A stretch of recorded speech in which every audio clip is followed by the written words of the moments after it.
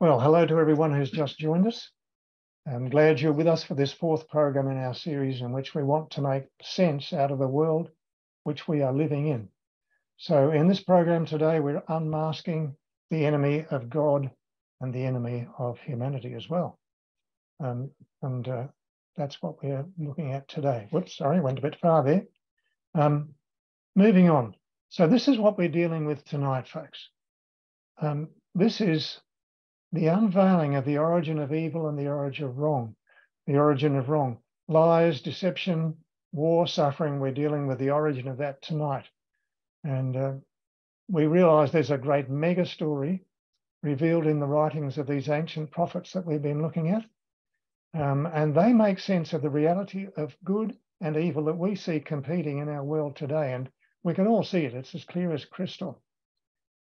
This intrigues me the battle between good and evil inspires every great writer and film producer. And you can see on the screen here all these various uh, films that have been made.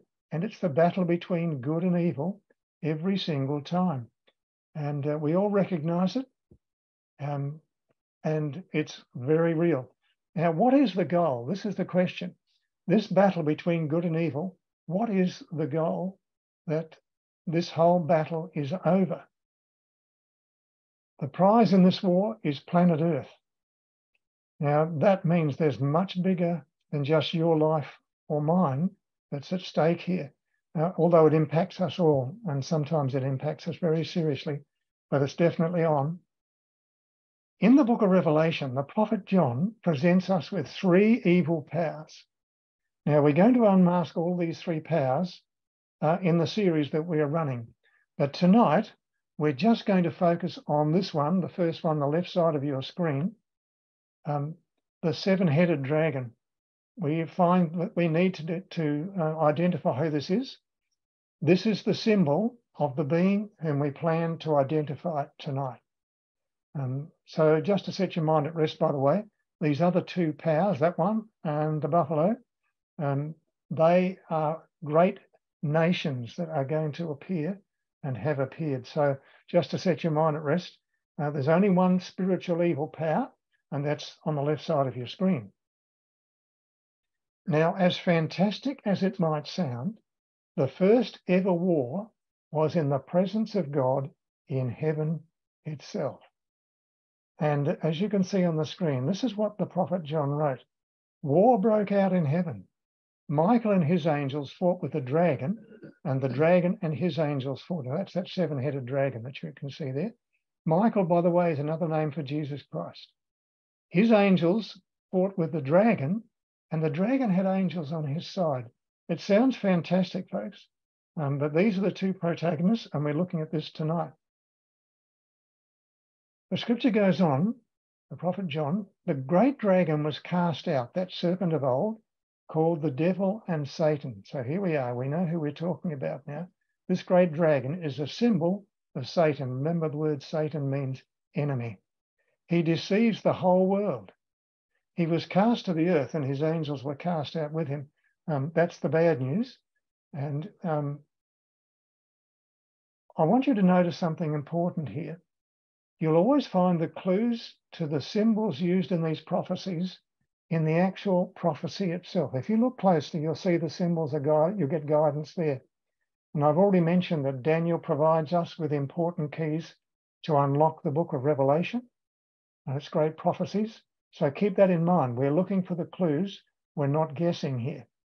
Now, moving on, let's deal with this subject. How could war actually begin in heaven? How could this possibly happen?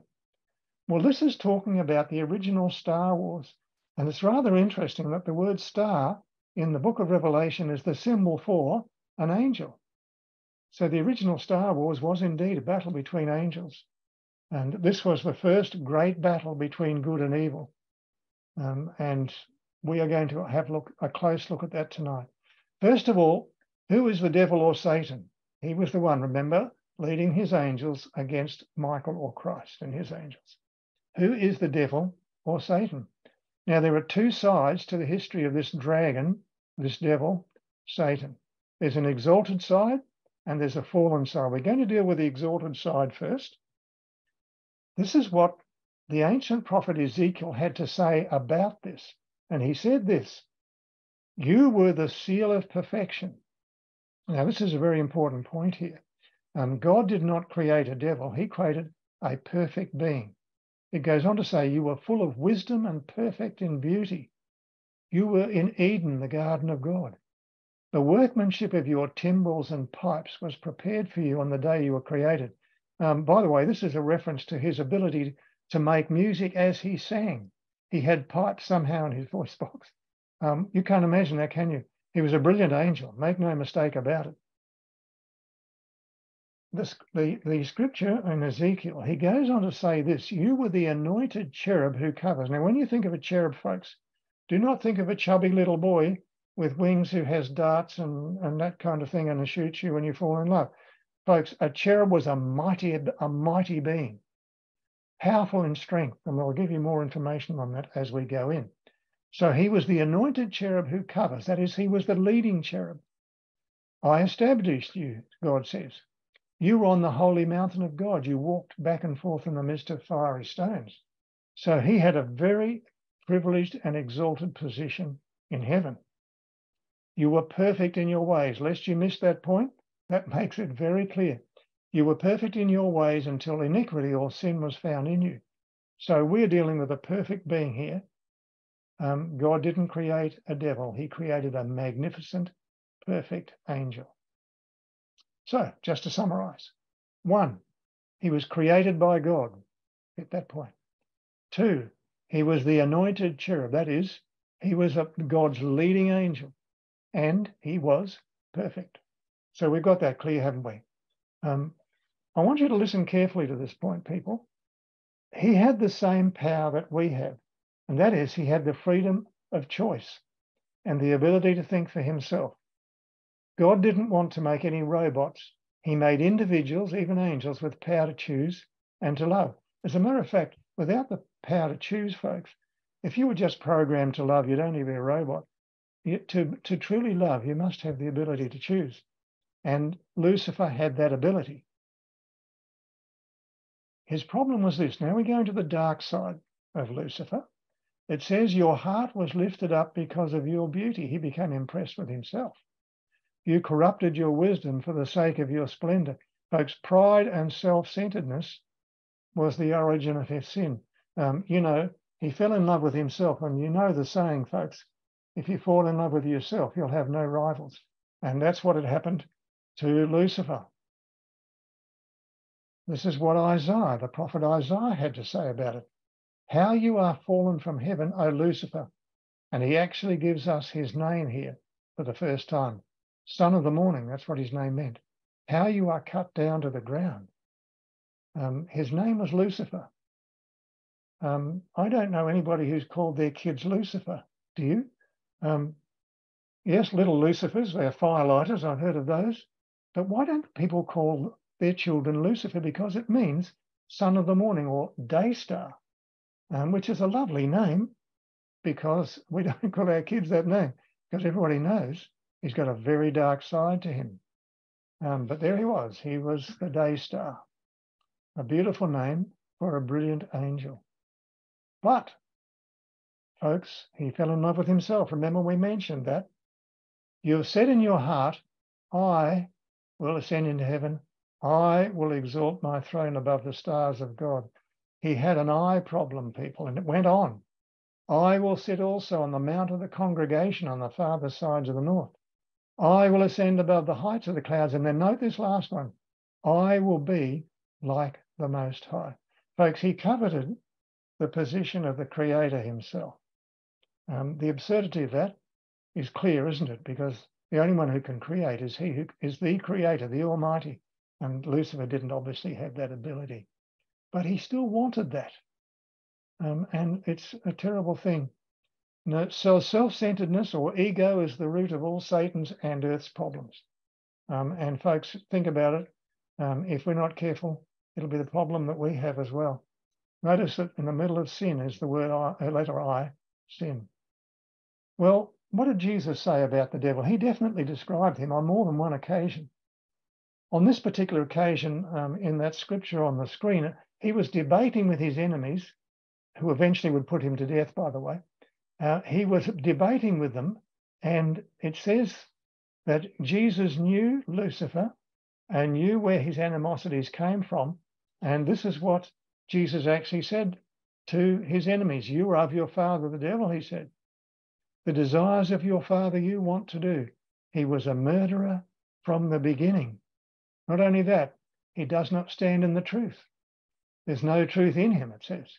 When he speaks a lie, he speaks from his own resource, for his lie and the father of it. Um, you know, we all value truthfulness, don't we? God hates lies and loves to see honest people, people of integrity. Lucifer, he said, was a liar and a murderer. Uh, he's not a nice person. By his own choices, Lucifer became Satan, the enemy. And we're quoting that scripture from Isaiah again. You have said in your heart, I will ascend into heaven. I'll exalt my throne above the stars. That's the angels of God.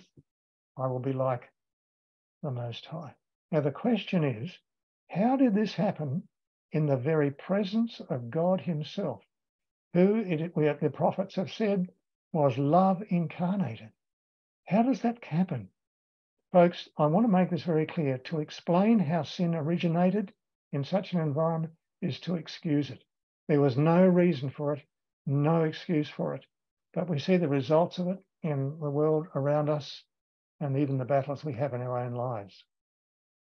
Well, disaffected people rarely keep their disaffection to themselves. Lucifer was no exception to that. So he embarked on a whispering campaign. And his whispering campaign was very effective indeed. And amazingly, Lucifer deceived a third of the angels of heaven. Now, keep in mind, these were like Lucifer, perfect, sinless, beautiful, and holy. Um, but he was able to talk them around. He was an amazingly good, a good deceiver, folks. He was very good at what he did. Um, so he deceived a third of the angels, and they were cast out of heaven with him, as we'll see in a moment. The bad news is, of course, they came to planet Earth. Well, let's move on. The story in, in Revelation, as the prophet John told it, another sign appeared in heaven. Behold, a great fiery red dragon, that one with the seven heads, remember? His tail drew a third part of the stars of heaven and threw them to the earth. So this was the first Star Wars, literally a war of the stars, the angels. Now, I'm sure that this third of the angels who were deceived had no idea where this was going to head. But the consequences would be the same whether they understood where it was going or not. Would God have explained to them the issues? Absolutely. But they very quickly went too far. The downhill slope, people, is a very slippery one once you get started on it. So let's summarize Lucifer's fallen side. One, he was proud and self centered. He fell in love with himself. He wanted to be like God. He was a liar and a murderer. He was a nasty piece of work. He was a deceiver. He was disloyal to God. That puts it mildly. So there was war in heaven.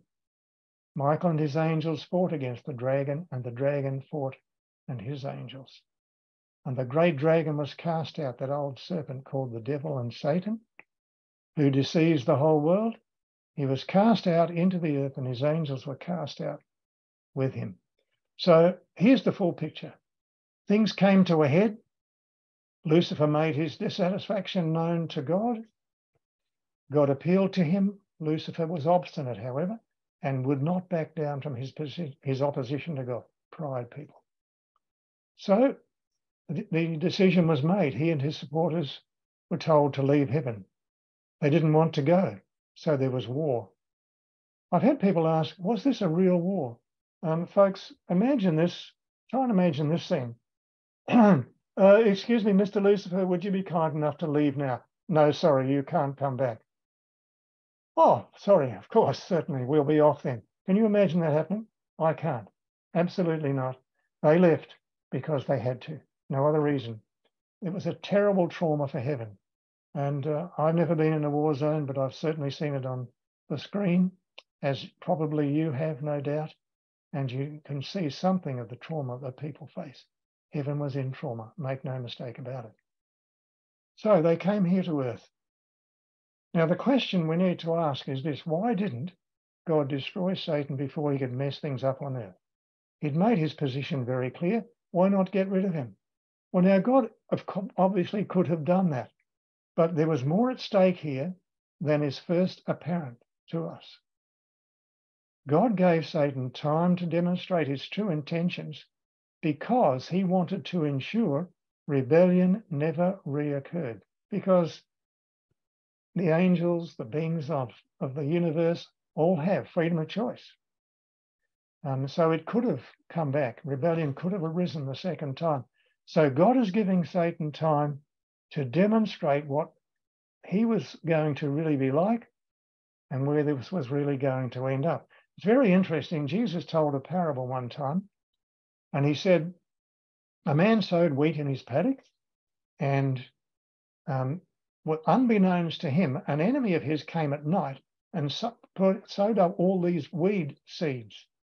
And uh, as it started to grow, the servants of the landowner began to realize that there were weeds growing up.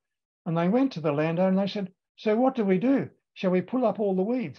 And he said, No, you'll, you'll unsettle all the, all the good wheat. He said, and it's on the screen, let both grow together until the harvest, the wheat and the weeds. And so that's what they did. And then the landowner, said, An enemy has done this. And I thought, well, that is so apt, isn't it? Because that's exactly what has happened. So God gave Lucifer time to demonstrate the results of going his way rather than pulling up the weeds right away. An enemy has done this. Well, the, the focus has now moved from heaven to earth. The war is over in heaven, and now something is going to happen here. What will happen? Well, the earth is newly created. Amazingly, only two people here on earth. Lucifer sees the potential to make the earth his model of how he would conduct operations if he was in charge of the universe.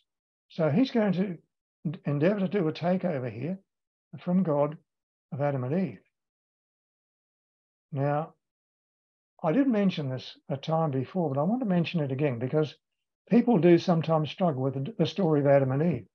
And I've often had people say, You don't really believe the story of Adam and Eve, do um, and I simply ask, as I mentioned before, is the population of the world increasing or decreasing? Clearly, it's increasing. So if you extrapolate backwards, folks, you're going to get less and less people until eventually you get back to how many people? Just two. And remember, they've got to live in the same neighborhood. So, yes, I most certainly do believe the prophet Moses, who wrote this explanation of the entrance of sin into the world with Adam and Eve. So, Lucifer's plan is to get them to side with him in the great struggle that he's having with God. This will prove his point, he thinks. Now, remember we read back in Revelation that some of the names of Lucifer are the devil and Satan and the serpent.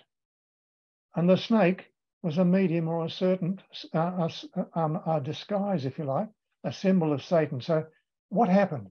Well, we've got to consider an important point here, actually, before we go into that. We already mentioned that humanity has been given the power of choice, freedom of choice. Um, folks, love gives you the right to say yes or no. Isn't that true? Uh, it works in human relationships. It worked with Adam and Eve as well. And God has given everyone the freedom to, cho- to choose. We exercise that freedom all the time, don't we? Um, right down to the person you vote for, we exercise our ability to choose. Okay, so this is what God had told Adam and Eve. When he first created them, he said, Of every tree of the garden you may freely eat, but of the tree of the knowledge of good and evil you shall not eat, for in the day you eat of it, you shall surely die. Now, this is serious stuff, people. It was a simple test of their loyalties. A child could understand it. And uh, we'll see what happened. Well, seeing the happy couple there on the earth, enjoying the beautiful earth that God had made, Lucifer determined to take them over. He moved cautiously. He was smart enough to do that. The serpent was more cunning. Remember, this is the symbol of, the, of Lucifer. The serpent was more cunning than any beast of the field which the Lord God had made.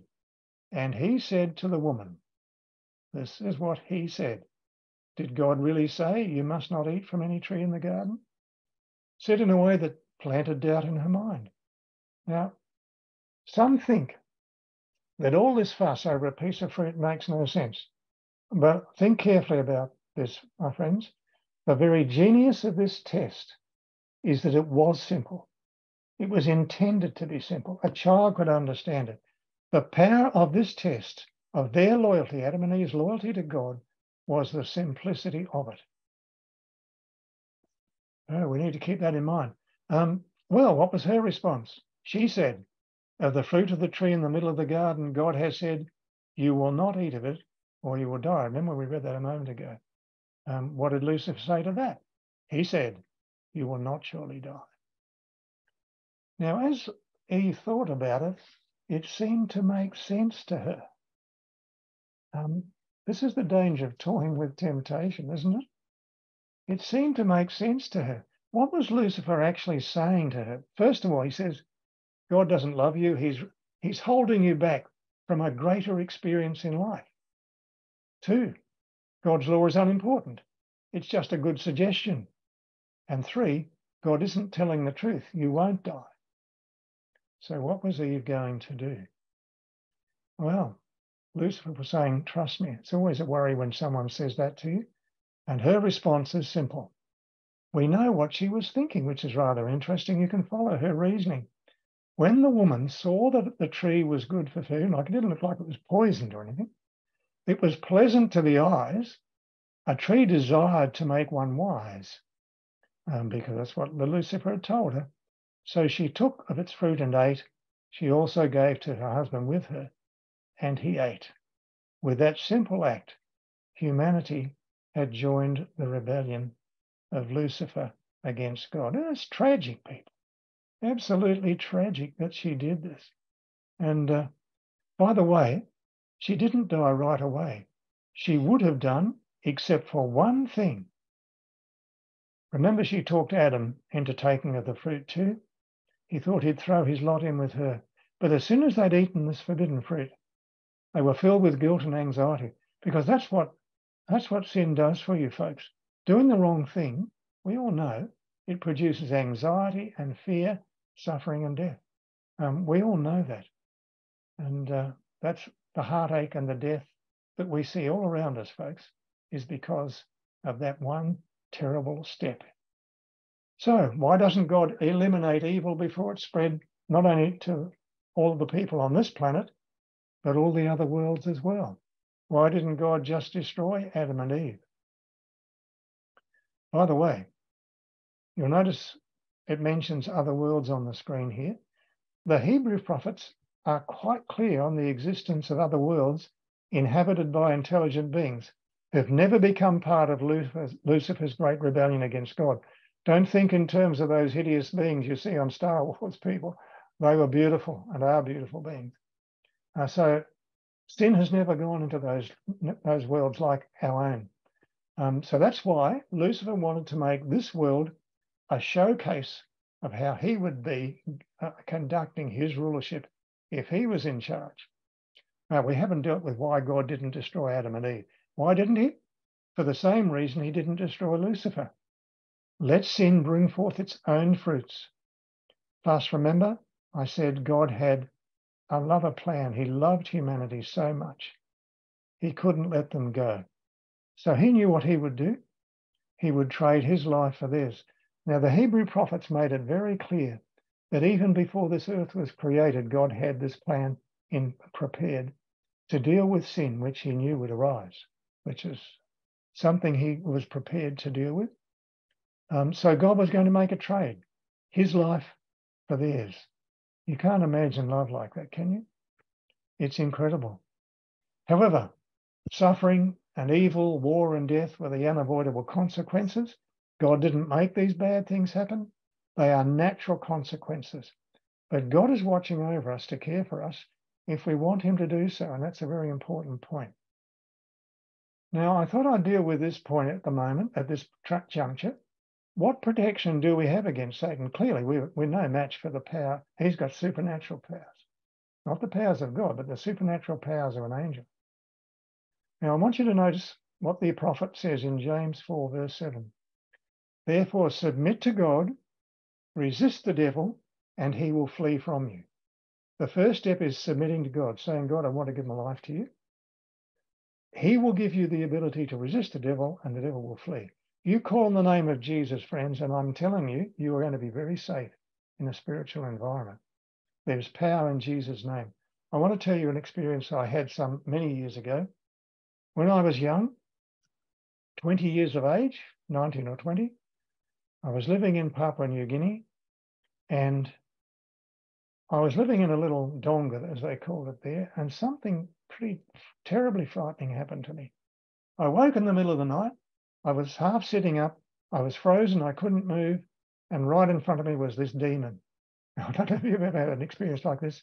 I won't labour this point because I don't want anyone going to bed scared stiff tonight. But um, I was there and this thing was about to reach out and touch me. I saw the hand coming towards me and I remembered, flashed into my mind that years before, a friend had said to me, if you ever have a demon visit you, call on the name of Jesus. Now, I wasn't a converted Christian at this point in my life, um, but I remembered it, came back into my mind.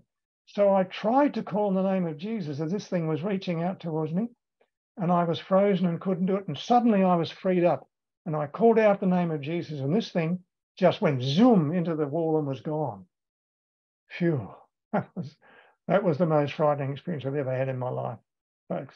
I'm telling you about it because I want you to know and remember the power of Jesus' name. There's no power like it on earth. All right, let's move on. God gets the blame for the acts of the devil. If you want to know, you want to remember that um, when there's um, an earthquake or a cyclone and the insurance companies have to pay out, they call them acts of God, but they're not acts of God at all. These are the acts of the devil. Well, God made promises to Adam and Eve right after they rebelled, right there in the Garden of Eden. And he, he made a promise. Interesting enough, he, he had a message for Satan, and there's a promise in this. And look what it says God says, I will put enmity between you, Satan, and the woman, between your descendants, your seed, and her descendants. And then it, notice the capital H. He shall bruise your head, Satan's head, and you shall bruise his heel. That's really interesting.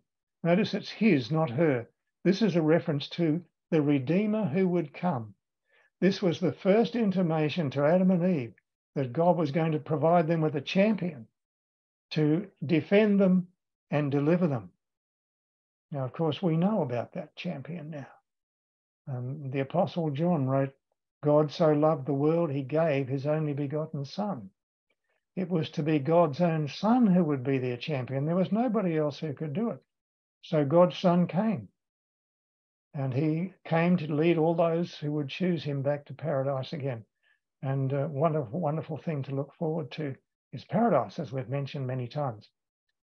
When Jesus was baptized by John the Baptist, and this was the signal, if you like, to Jesus, about 30 years of age now, to begin his public work and ministry. And John the Baptist did something very interesting.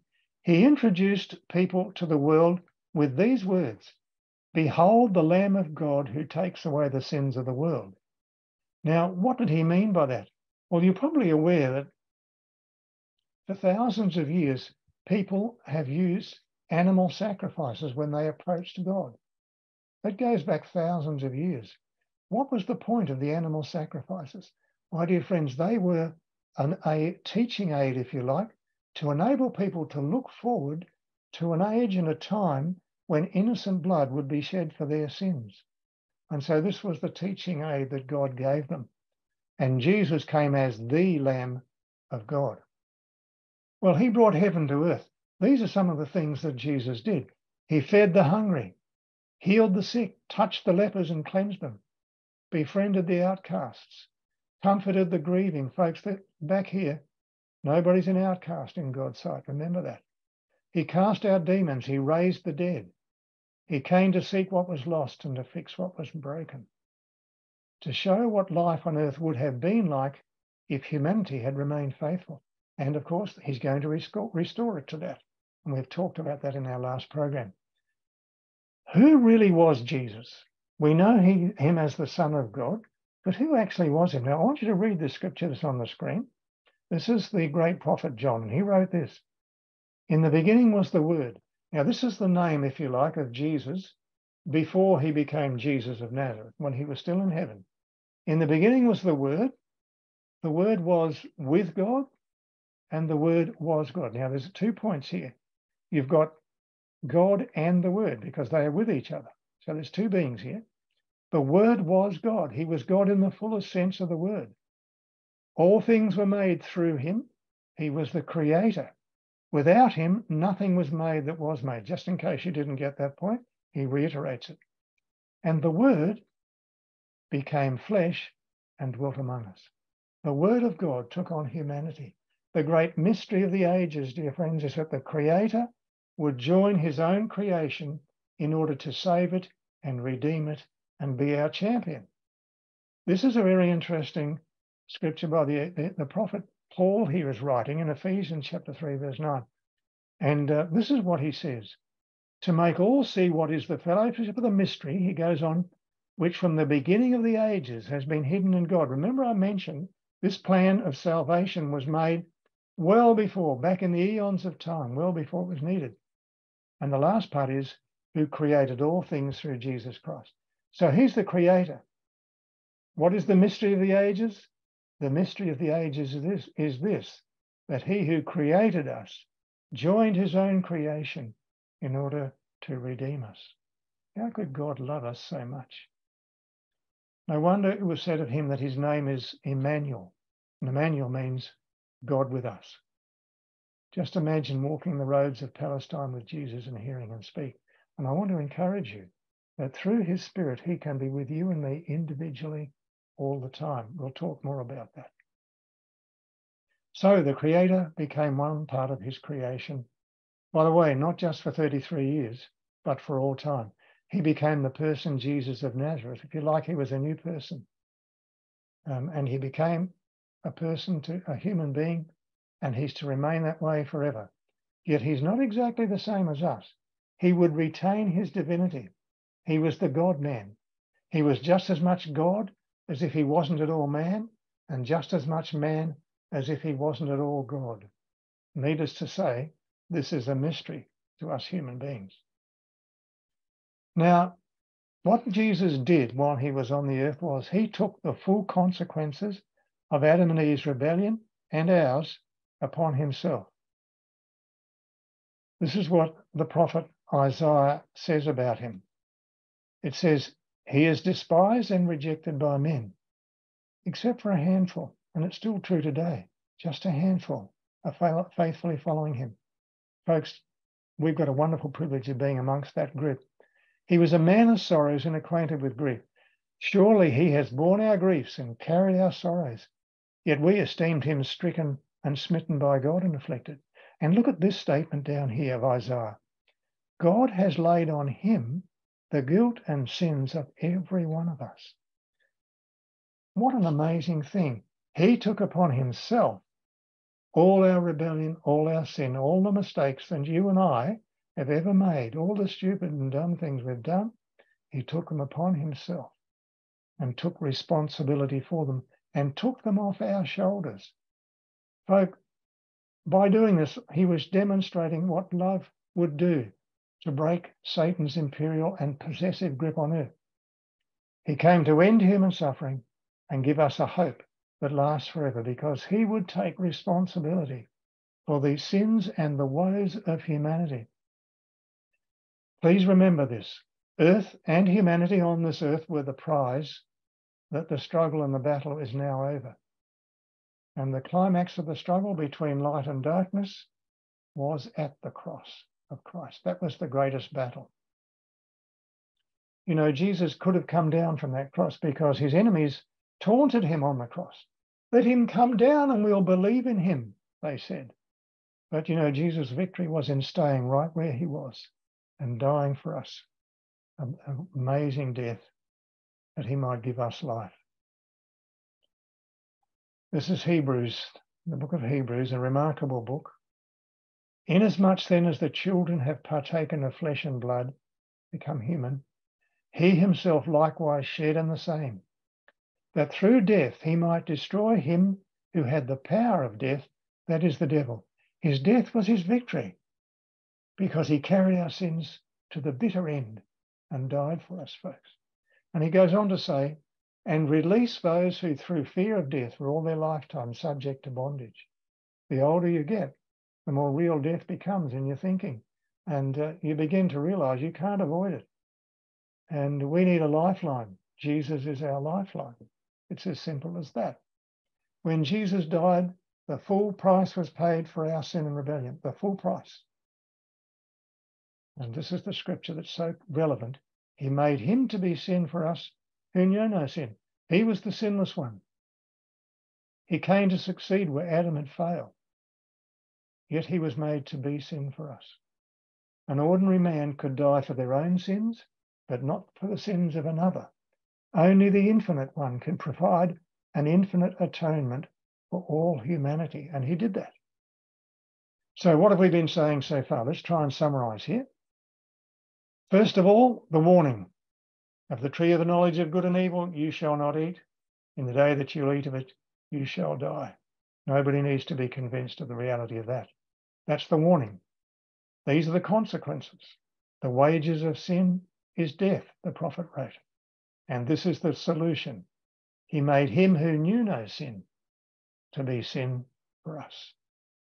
Don't forget, don't, sorry, don't expect to fully understand this, folks. It's a mystery the mystery of God's love and the mystery of God entering his own creation in order to save us. It's amazing.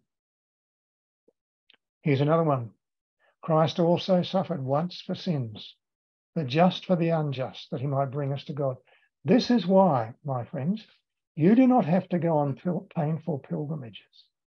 You do not have to suffer in order to have salvation. Jesus suffered for you. He suffered, notice, once for sins. That's what it says. It only had to happen once, and he did it once. By doing that, sin, Satan was exposed as a liar and a murderer. No question about it. Look at these amazing statements here. God didn't wait for us to deserve this. While we're, we're still uninterested in Him, He still died for us.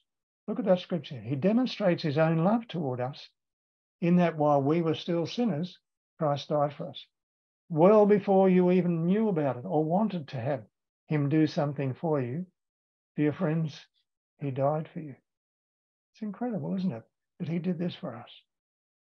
Well, this is the reason God so loved the world that he gave his only begotten Son. This was the motivation. God could not let the human race go, no matter what the cost to himself. That's hard to follow. All right, the practicalities of it all now. What will happen to the devil and his angels? Well, bad news for them, good news for us. Fire came down from heaven, from God out of heaven, and devoured them. This is Revelation talking about it. The devil who deceived them was cast into the lake of fire and brimstone. So there's a final judgment coming. And then the universe will be free again from sin and rebellion and suffering and sorrow and death. This is called God's strange act by the prophets, but it has to happen. If God doesn't deal with it and bring it to a final conclusion, then the sufferings of this earth are going to continue for all time. It has to be dealt with. This is what God says through the great prophet Ezekiel I turned you to ashes upon the earth you have become a horror, and you shall be no more forever. I turned you to ashes upon the earth. Um, friends, Lucifer will become ashes, and the great conflict will be over at last, the great controversy between Jesus or Christ and Satan. I want you to notice he's going to be ashes. There'll be no ever burning hell to keep Satan before us. That is not what is going to happen at all. It's a lake of fire, does its job, and ashes are remained. As for humanity, dear friends, the cross assures us that we're going to have a new start in the earth made new and pure And we talked about that, didn't we, in program three? Jesus will return for his blood bought children. He's going to take us home to glory. So all those who accept his great sacrifice for them will be taken to heaven when Jesus comes. And he wants us all to be there. I love this promise that Jesus himself gave I will come again and receive you to myself, that where I am, there you may be also. Folks, we're heavenward bound. We really are. Now, this is the opportunity of a lifetime. I encourage you not to let this moment of time pass without a quiet yes to what Jesus offers you tonight. He calls us, Where are you, my child? Are you coming? Will you respond? I'm going to pray for us all now, and I'd invite you to join in with me. Father in heaven, thank you so much for unveiling to us tonight the enemy that you have and that we have. We thank you that you sent Jesus, your Son, the one who made us to join us and lead us out of this, this earth and its trials and its death and sorrow and its sin. And we want to thank you that we have the promise that this will one day be a thing of the past. Sin and Satan will be finally no more. Lord, I want to ask you to bless and remember the name of every person whose heart is open to you tonight. In Jesus' name I pray. Amen. Now, the next program, folks, just very quickly, is program number five The Ancient Prophets and Life After Death. We're going to explore what happens when you die. I think you're going to find this fascinating. So we enjoy and look forward to enjoying your company again with us next week. In the meantime, God bless and keep you in his love tonight.